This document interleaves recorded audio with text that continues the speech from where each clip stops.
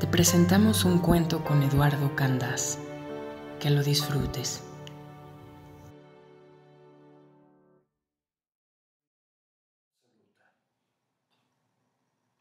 El médico estaba de pie, cerca de su esposa. Se metió las manos en los bolsillos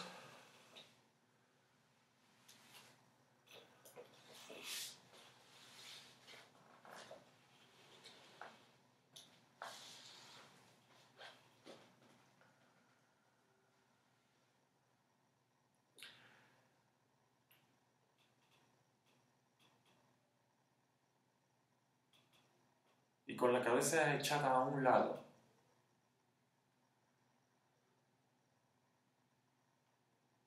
Miró a su hijo.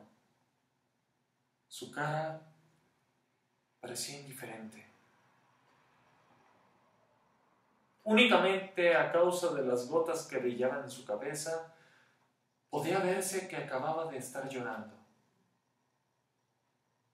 Ese horror repulsivo que la gente asocia a la idea de la muerte no se encontraba presente en la habitación. En la quietud general y en la pose de la madre y en el rostro lleno de indiferencia del médico.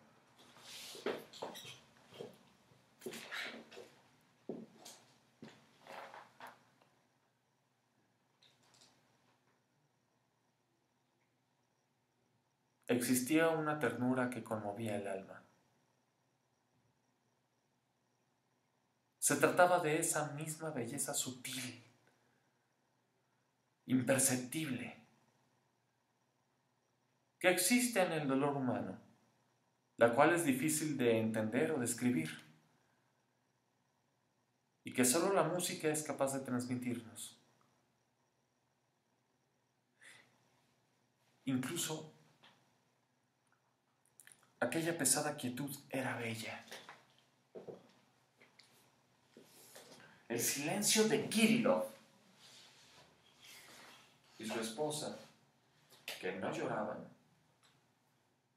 como si el alcance de su pérdida les confiriera cierto entendimiento sobre lo poético de su situación, igual que en algún momento su juventud les había abandonado, ahora Junto con aquel pequeño, su derecho a tener niños había desaparecido para siempre. El médico tenía 44 años, el pelo cano y la apariencia de un hombre mayor. Su esposa, pálida y enfermiza, tenía 35 años. Andrei no era su único hijo, sino el último. Al contrario que su mujer, el médico pertenecía a esta categoría de individuos que en momentos de dolor espiritual sienten la necesidad de moverse. Tras haberse quedado quieto detrás de ella durante cinco minutos, de nuevo, levantando su pierna derecha, salió del dormitorio y se dirigió hacia la pequeña habitación contigua, que estaba medio llena con un diván grande y blanco, y desde ahí se dirigió hasta la cocina. Tras haber vagabundeado cerca del hornillo y del sillón del cocinero, miró a su alrededor y se dirigió a través de la pequeña puerta hacia el vestíbulo.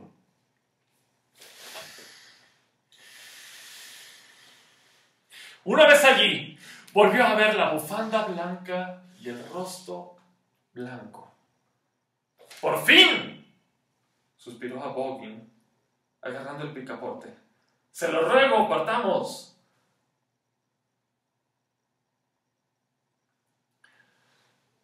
El doctor se estremeció,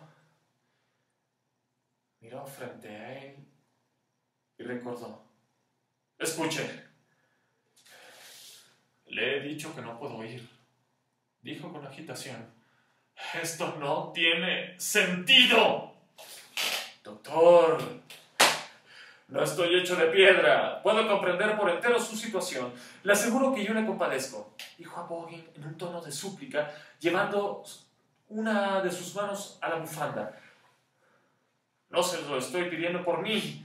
Mi esposa se muere. Si hubiera escuchado sus alaridos, si hubiera visto su rostro, entendería usted por qué insisto, Dios mío. Había pensado que había ido por su abrigo, doctor.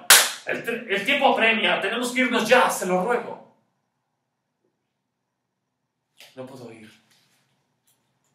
dijo Kirillov despacio y volvió a entrar en la antesala. A le siguió y lo agarró por la manga. ¿Está usted afligido? Lo entiendo. Pero no he venido porque me duelan las muelas o para que me den una segunda opinión sobre algo, sino para salvar una vida. Continuó su súplica como si fuera un mendigo. Esta vida es más importante que cualquier dolor. Mire, le estoy pidiendo que sea valiente, que sea un héroe. Si es que le importa, si ama la humanidad.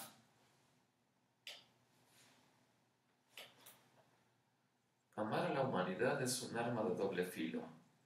Kirillov dijo de forma distraída. En el nombre de ese mismo amor a la humanidad, le ruego que no me obligue a ir. No tiene sentido. Dios mío, apenas puedo tenerme en pie y usted me habla de amor a la humanidad. No puedo ayudar a, a nadie ahora mismo. Nada me hará ir. ¿Y cómo quiere que deje sola a mi mujer? No. No.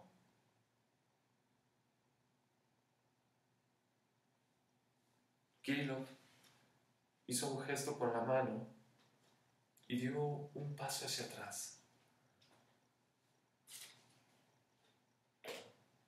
No me lo pida. Continuó con voz asustada. Lo siento.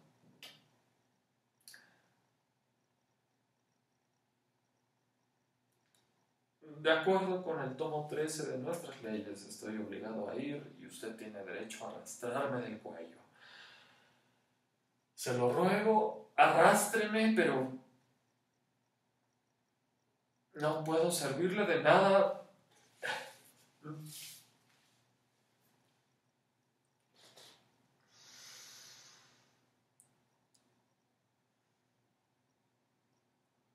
No puedo ni hablar.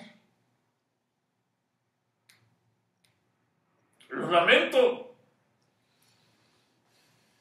No tiene que hablarme en ese tono, doctor.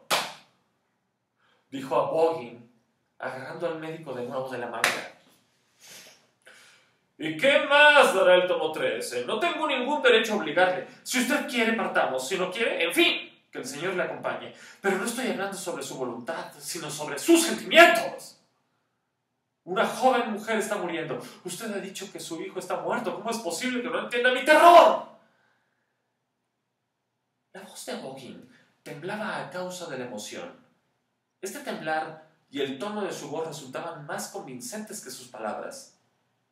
A Hawking era sincero, pero lo extraño era que dijera lo que dijera, todas las frases salían ampulosas, carentes de sentimientos, demasiado ornadas e incluso parecían ofender el aire de recogimiento en las habitaciones del médico y de la mujer, que en algún lugar moría. Él mismo era consciente de ello. Al temer que no se había entendido, puso todo su empeño en que su voz pareciera dulce y amable, para que su significado se transmitiera, si no con sus palabras, al menos con la sinceridad del tono con el que las pronunciaba.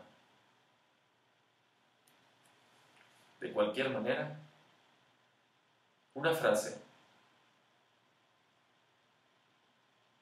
aunque sea muy hermosa y profunda, actúa solo sobre las personas que son indiferentes pero no siempre puede funcionar con gente feliz o infeliz. Por alguna razón, la mayor expresión de felicidad o infelicidad suele ser, más a menudo que otra cosa, el silencio. Los amantes se entienden mejor cuando no dicen nada y el parlamento poderoso y apasionado declamado en un entierro solo puede conmover a los extraños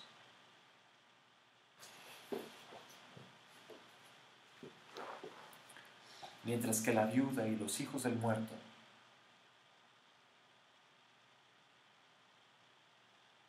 lo hallan frío e insignificante.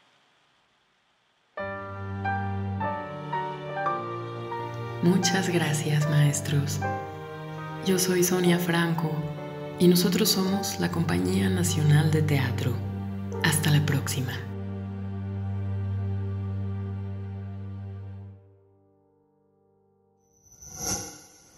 Gobierno de México.